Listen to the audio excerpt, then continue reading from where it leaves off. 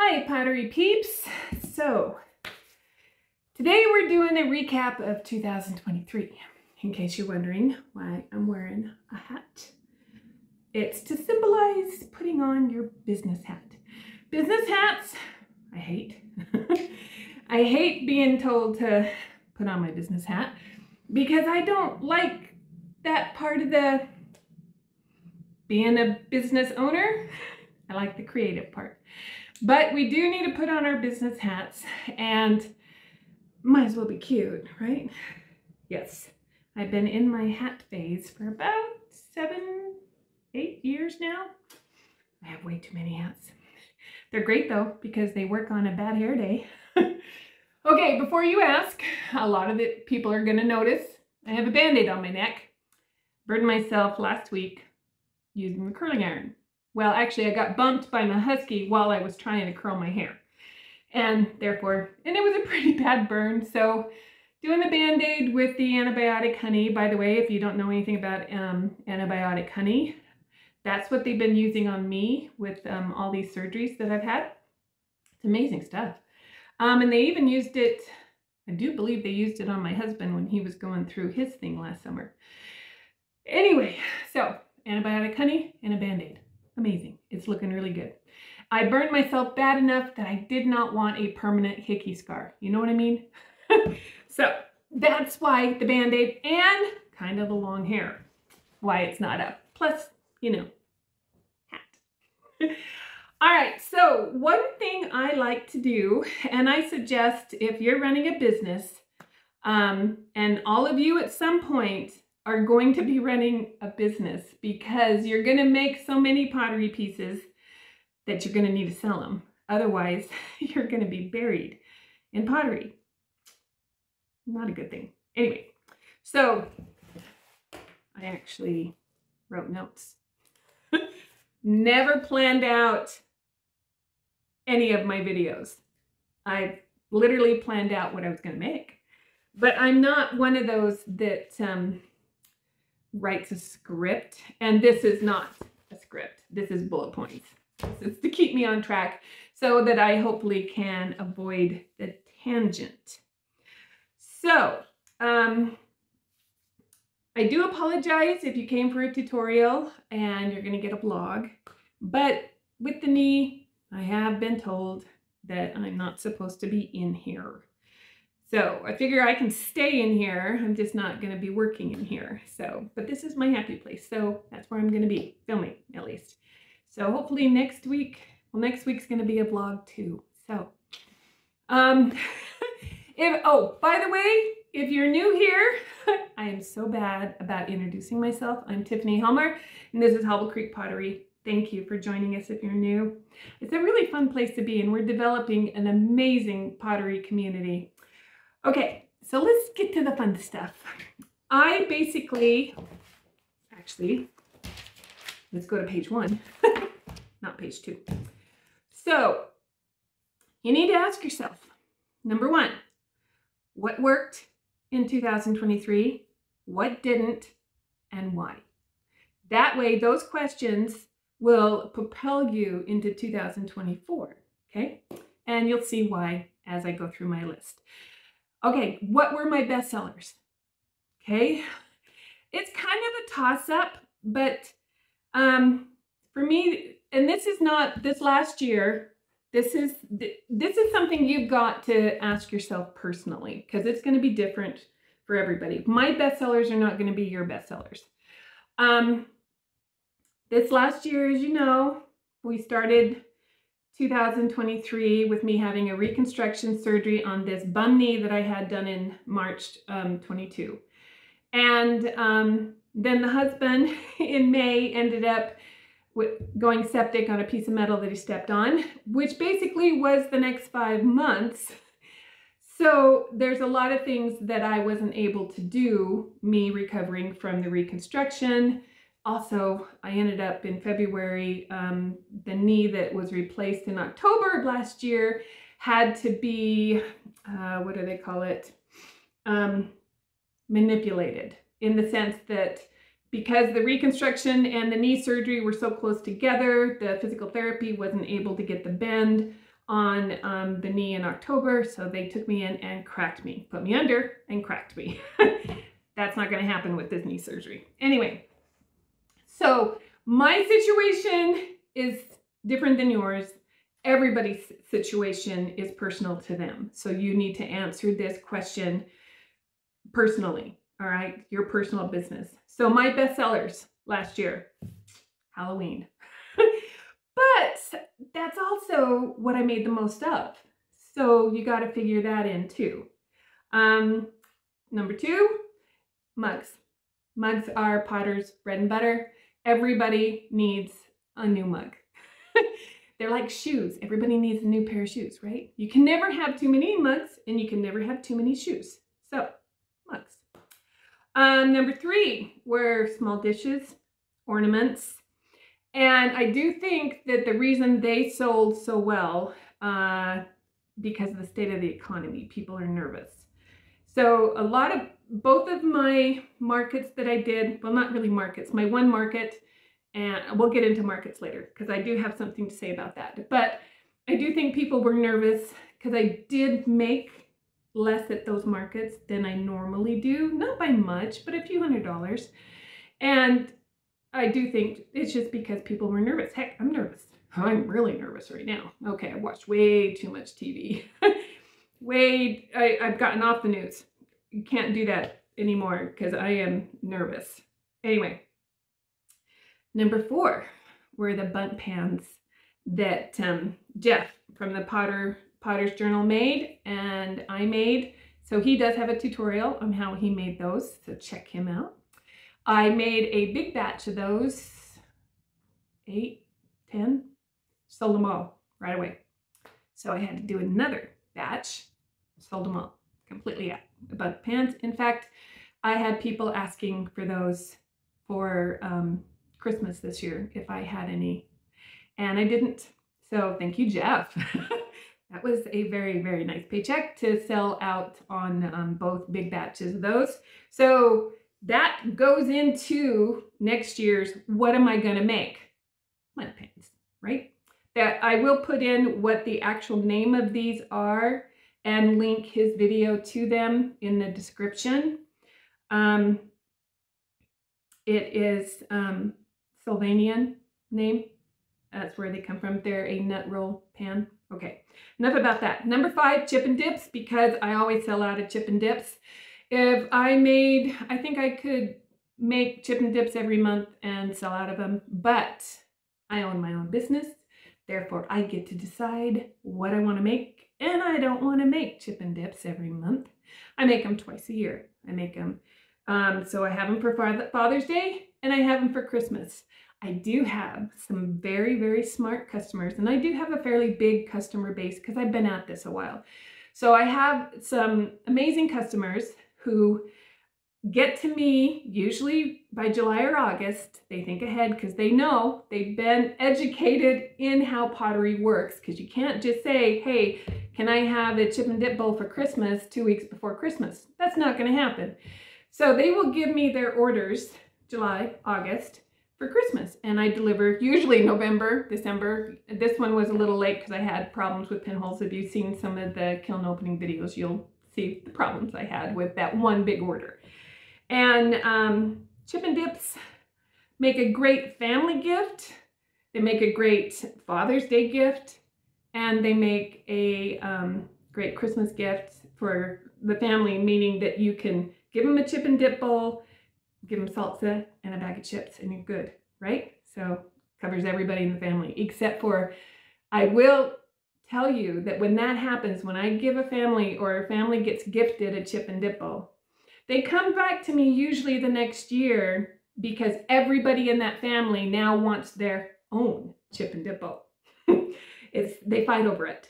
Okay, so chip and dips are always on my list. They've been on my list. Sorry. Also one of my favorite things, but I didn't put it down. Mm. Sorry, guys. I don't just drink hot drinks out of mugs. I drink ice drinks out of mugs. Okay. Did I, where am I at? Number six. Number six, I'm putting in a lot of things into number six. It's more than just one thing. But you know, if I started naming, I mean, I can get carried away. I always get carried away. Number six is my magical things, the Witch Hat Luminaries. Huge hit. Not not only did I, I think I made eight or nine of those too. And I sold out of all of them except for the ones I refused to sell. and there were two that I kept. One was the Tree of Life witch hat, which I knew when I was making it, it was for me. There was going to be way too much time put into that hat, and I wanted to keep it. So I made it for me. Um, so, okay, along with the witch hat luminaries were any gnomes, mushrooms, um, anything that I made, fairy houses, anything like that, sold out of all of those. So anything that I made that was magical. I think my customer base kind of knows that's what I like to make and they they like it also so they buy it. So you do need to figure in your best sellers for what your customers like, not necessarily what you like, okay? So on to um, the best sellers. What were my best markets? this year, of course, um, was a weird year. I only did two markets. Well, technically I did one. And I always do the art festival in Springville in September because it is a juried um, market and it only allows in artists. Um, it has to be made by you. It cannot be mass manufactured. Um, you have to be present and I get to bring a wheel and throw. I usually bring my students with me, the ones who want to do, do it. So there's a bunch of potters there. Uh, we had Sandy and Mickey this year, and we take turns throwing, selling, whatever. So it makes it for a really fun market, and it's a busy market, super, super busy market. It was just the last, I've only done it two years because uh, they've only been doing it for two years. And both years, blew my hat off. okay, um, second best market will always, actually, Sorry, I should I did that wrong. That was the market that I did. Sales, okay? Um, studio sale is always my best sale. It is here at the house um, in my driveway. At first, it looks like a garage sale going up, so we get a lot of um, garage sale people thinking, but they usually buy two. And it's a chance for the students to show off, and me. It's a party. The studio is usually cleaned up, and they can tour the studio if they want. They can see the whole process. I happen to be on, I'm Hobble Creek Pottery, and I'm at the mouth of Hobble Creek Canyon. And Hobble Creek Canyon in Utah is a busy canyon. There's a lot to do up there. There's many campsites, um, so it gets a lot of traffic on the weekends. And what gave me this idea was listening to the Potter's Cast. I love listening to the Potter's Cast for an um, um, podcast uh, about pottery. Um, anyway, he had Bill Van Gilder on there. And if I can find the link to that one, it, um, I'll post it in the description. But Bill Van Gilder is kind of like my hero. And I think he's really hot. I know. I just, I just love men like that. One that they look rough. You know, they look like they live. They look like they can take down a moose and chop your wood for you and keep you warm all winter, right? probably too much information about me that you just got. Anyway, um, he mentioned that he is on the road to Shenandoah Park. And he also has a big campsite near him for people who want to go play in Shenandoah Park. So he said in this, and I'll probably get this wrong because it was years ago that I heard this. Um, he said, I'm right there. Just put out a shingle. I'm open. You know, why do I want to go travel and take all my stuff, risk getting it broken, all of this. I have all these people coming all summer long to explore Shenandoah Park. Why not explore pottery too? So I got to thinking, why not?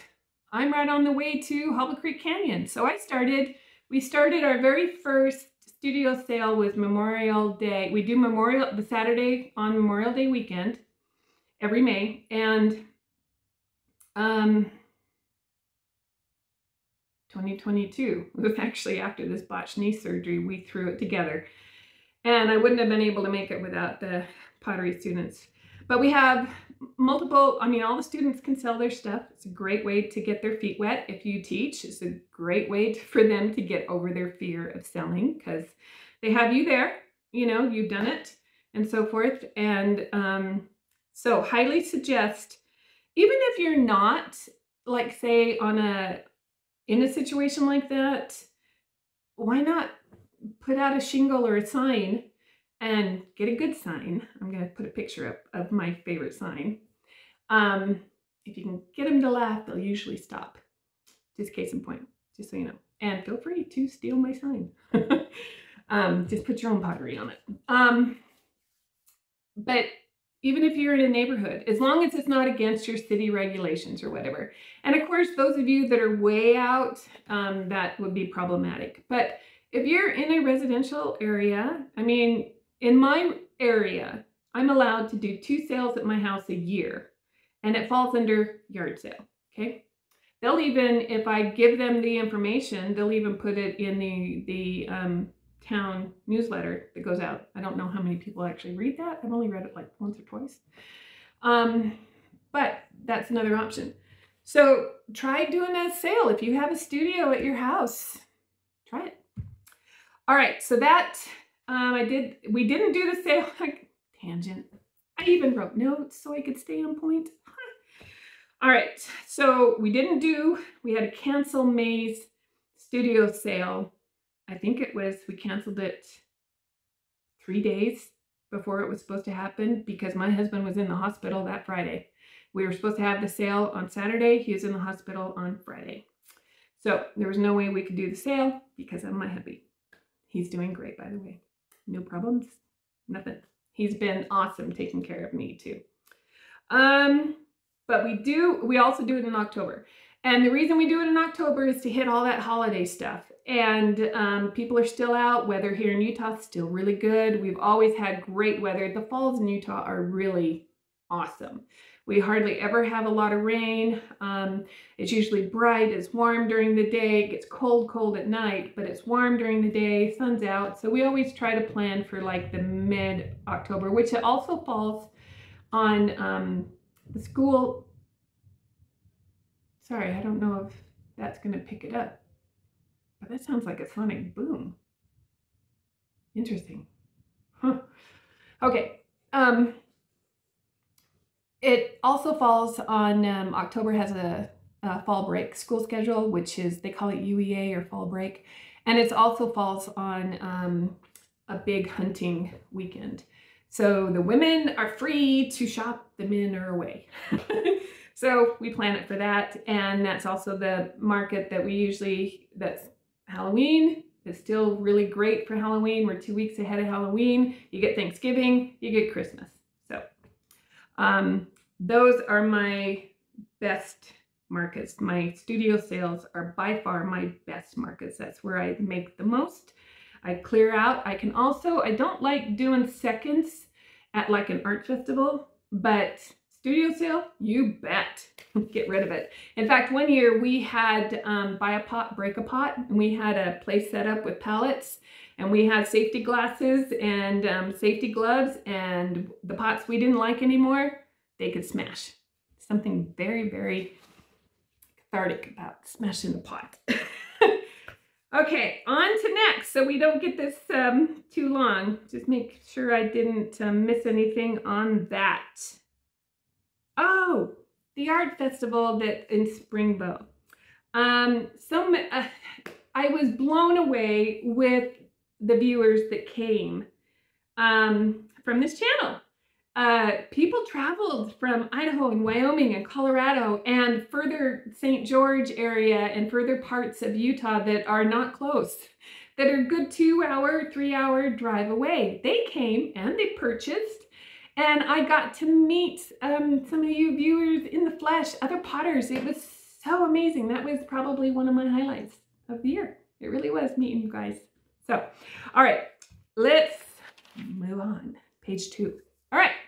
So then you need to ask yourself, or at least I ask me, what were the favorite pieces that I made this year? This is my favorite question. what did I make that I absolutely loved? And um, it's important to touch on this, and we're put a check mark on that because we'll talk about it more next week. But um, I am trying to think of the favorite things that I made. Okay, I did sell them. Some. Okay. Number one, my favorite favorite thing that I made last year was my totem. I made two. Made a pumpkin totem that I actually didn't show, but I do have footage or a picture. I'm not sure. And then, of course, my big totem. That was challenging. It was exciting. I had never done anything like that before. I had made pieces like that, but I hadn't like drawn it out beforehand and figured the um, construction of the piece. There was a lot that went into it, which is why there's multiple videos on making that totem. So I will try and link that. I hope I can remember all this because I'm taking a pain pill as soon as this video is over. okay, number two was working with Sharon Hoppe, um, Sharon Hoppe Designs on the Alaska Wild Nights timber. It's right here. Collaborating with her and making the mug, which I will put a picture somewhere. um, the mugs, and we did a live event, though my live part was really sucked because my upload is really slow because of where we're at. But that's supposed to change because we're supposed to get Google Fiber. They keep saying that, but so far it hasn't happened. Um, but designing this, um, collaborating with Sharon, was a highlight. It was one of my favorite things last year, and we have more planned for next year. Um, something fishy. There's a hint. Maybe I shouldn't have said that. Um, anyway, well, it said. and I don't like to edit. So I don't like to edit much. I do edit, well, maybe I'll edit this. Okay, moving on. Uh, number three was the whale that I made for my grandkids' bathroom. And that was a video that I, tutorial that I watched um, with Vaughan Smith. And if you're not watching him, you should. He is a master potter with, and he's so good to share all his knowledge. He's been at it much longer than I have been. And um, one of these days, I am planning, Vaughan, if you're watching, I want to plan a pottery vacation um, where, pottery road trip, if you will, where I actually go and see the potters and buy their stuff that I admire. Okay, so that was number three.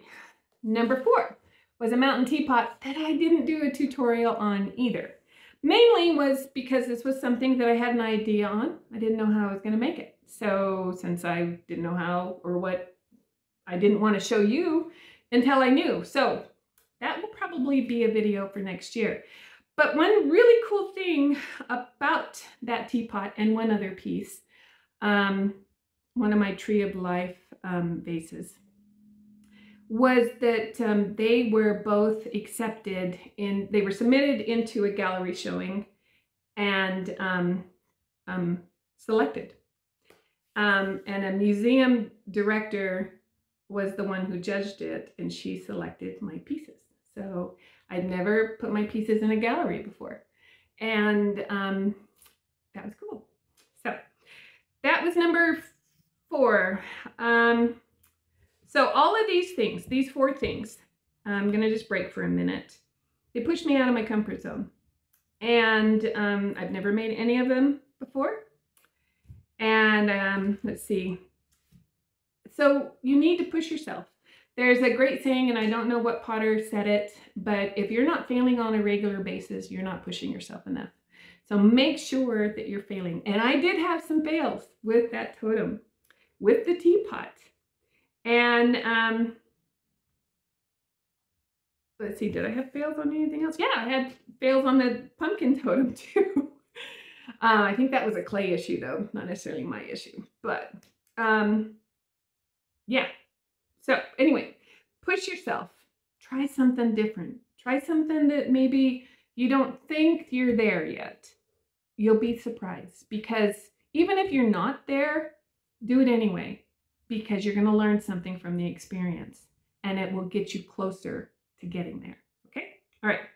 So let's move on. Number five. I'm only doing six. Number five were the Witch Hat Luminaries. It was a student winner. Uh, they're still making them. Savannah has just gone crazy with them. And God, she's doing some amazing stuff. She's such an amazing sculptor. Um, so that was actually, I'd never made a witch hat luminary before. Um, and I made a tree of life witch hat luminary and I plan to make more of them in the future. So number six were the witchy mushrooms that I threw on the wheel. I had so much fun making those. I made a lot of stuff um, that would go in the garden. And um, usually I make mostly functional pottery, but I spent a lot of time this year making things that um, were more, I guess, sculptural, more artistic, or I don't know. I think functional party, pottery is art too. Um, but these weren't functional. They were just there to look at and be pretty and fun. And so I did make a lot of that. And it's the very first time that I've um, made so many things, I think, for myself. One thing, well, actually, no, sorry, I'm gonna write a note.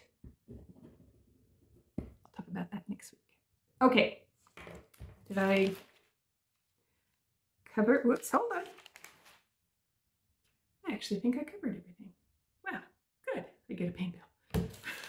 Because it kills me to sit. I'm not, can't even get on the wheel yet. But the knee's doing great. Those of you who have had knee replacements, I measured yesterday at physical therapy. I can move it myself to 128 degrees, I guess, and he can get me to 140. They need to get me, I need to get me to 140. So I'm at 128. Doctor's really tickled. Um, everybody says I'm doing great, but until I can get into the studio for a, more than 20, 30 minutes at a time, um, I'm not doing great. I'm not doing, I'm, I've reached the point where I'm frustrated. and I think when you're recovering from something, frustration is your biggest problem because it makes you depressed, it makes you angry, makes you unreasonable. At least my husband told me I was unreasonable. I'm unreasonable quite often. anyway, okay, I'm going to end the video here. And since we are, you know, at the end of um, 2023, you are getting me present day. I'm going to edit this video and get it up tonight. Today is December 30th because New Year's is tomorrow. So um, think of these things because they will help you in your pottery journey, especially if you're going to sell pottery. Um, a lot of this that I didn't, uh, one thing I didn't touch on because I do teach, and I didn't touch on um, like the YouTube channel because I do plan to keep doing that because actually this is super fun. I don't know. I love to talk to myself apparently. I talked to myself when I was writing books.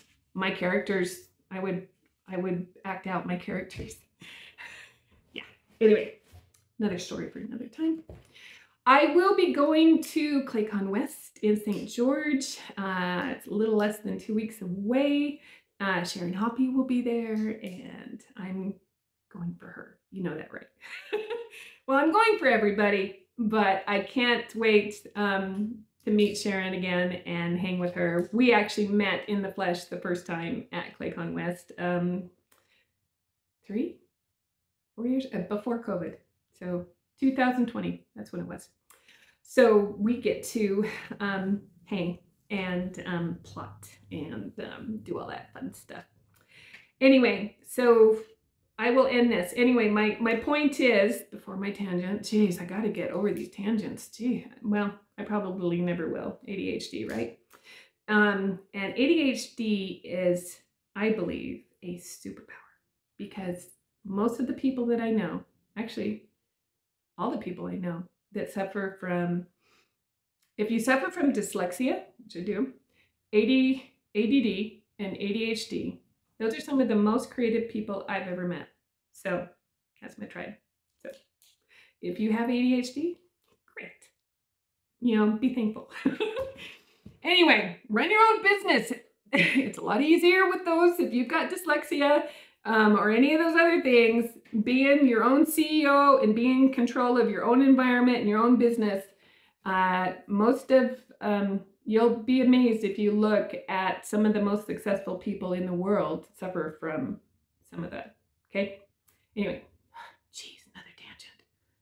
I should maybe I'll add up how many tangents I did.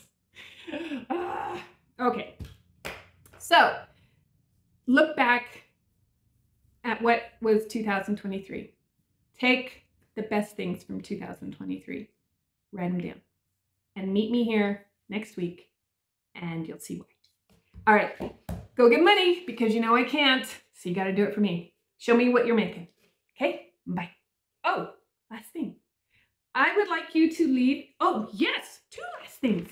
I didn't write those down. Um, number one, whatever you've made that's your favorite from the channel that I've showed you how to make, write it down in the comments. Number two, next week I'm going to do a questions and answers. Good thing I remembered that. Otherwise I wouldn't have had a video for next week. Well, I would have had a video, but write down a question that you'd like me to answer. And um, we'll answer a few of those. I've never done that. I'm really excited to see what your questions are. Okay, go get money, remember? Because I can't. All right, and we'll see you in the next one. One last thing. Thank you for all of you watching my videos over this last year. Um, it's grown like crazy. I think we're just shy of 11,000 subscribers out there, uh, subscribers out there doing pottery and making so many amazing things. I am super grateful for you this year. Last year, well, it's been a year, a year, year and three months since um, this channel hit a thousand subscribers. and it's, I'm just humbled by all of you and what you're making and that you, um, the feedback on the tutorials.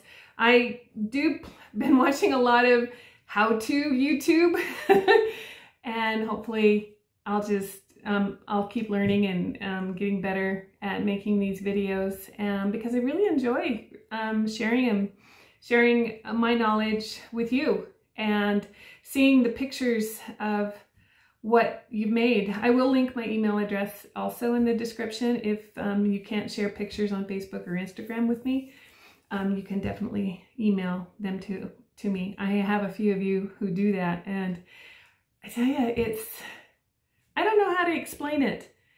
Seeing my students succeed, seeing McKay out there opening up her own studio and teaching herself, you know, seeing Savannah got a, um, she's changed jobs. She's working with my, um, she's working at Patty Ceramics with um, my kiln guru, Joe, doing slip casting.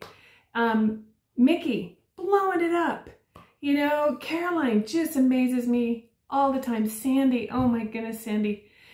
Anyway, um, another tangent.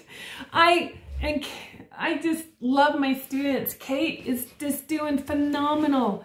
You know, Tess, she's got three little kids, but her littlest one is, um, will be six months old. Whoa, six months old um, in a week. So hopefully she can, um, she's dying to get back in here. So um, it's hit and miss. You know what it's like if you've had children with uh, young kids and especially babies. While they're adorable, I tell you, being a grandma, best job in the world. love those little babies and love giving them back to their mamas when they are not happy. I take them when they're happy. um, anyway, just wanted to make sure that um, I thanked you because I'm extremely grateful for um, this channel and all of you. So thank you. Oh. Holy cow.